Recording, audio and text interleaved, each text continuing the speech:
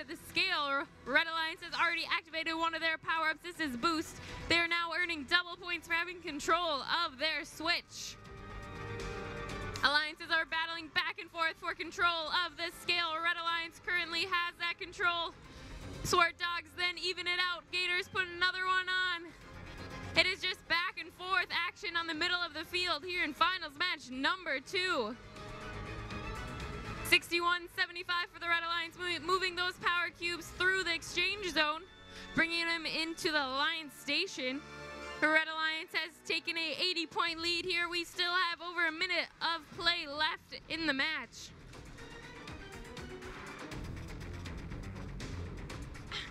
Chaotic Robotics trying to put one of those power cubes onto the Red Alliance side of the blue switch, playing some defense. Blue Alliance has now activated their force power control of the switch located at the center of the field. Robots are stacking those cubes high on the switch located at the center of the field. 50 seconds left to go and play. Blue Alliance, Red Alliance has almost a 100 point lead. They're battling back and forth for that scale at the center of the field. 40 seconds left to go. Red Alliance has a 100 point 51-72 for the Red Alliance. The Gators, they stack another power cube on top. 28 seconds left to go. Both alliances have activated their Levitate power. If they're going to be earning an extra climb. 51-72, the Gators and Gator Robotics for the Blue Alliance. They're getting ready to climb.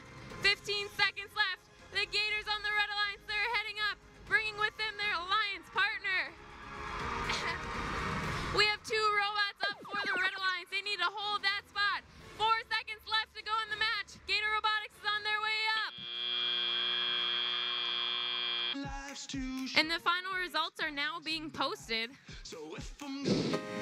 Robots were working back and forth trying to defeat the boss. The Red Alliance will take home the victory.